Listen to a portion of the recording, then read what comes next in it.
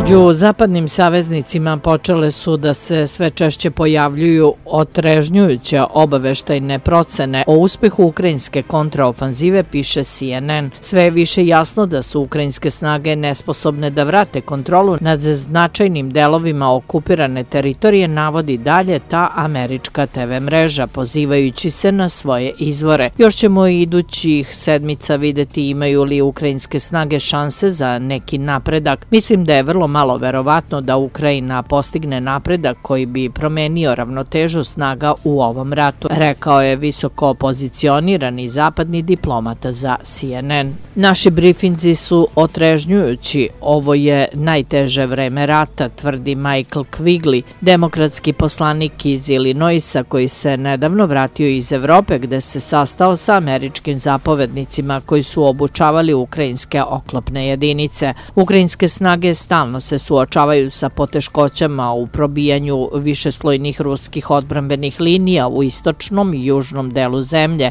gde su Rusi posejali na desetine hiljada mina i izgradili ogromnu mrežu rovova. Ukrajinske snage tamo trpe neverovatne gubitke, zbog čega su ukrajinski zapovednici neke jedinice povukli sa prve linije fronta, kako bi se pregrupisali i smanjili broj poginulih i ranjenih. Rusi imaju niz odbrambenih linija, a ukrajinske snage snage zapravo nisu probile niti prvu, čak i da nastave sa svojim napadima u idućim sedmicama, kolika je verovatnoća da će ih probiti sa iscrpljenim snagama kada to nisu uspeli u protekli 7-8 nedelja. Uslovi u kojima se bore jako su teški, kaže visoki zapadni diplomata. Zapadni zvaničnici kažu i da je spor napredak ukrajinske vojske razotkrio i poteškoću transformacije ukrajinske snage u kombinovane mehanizovane borbene jedinice. Sa druge strane, načelnik ukrajinskih oružanih snaga, general Valeri Zalužni, rekao je načelniku Združenog generalštaba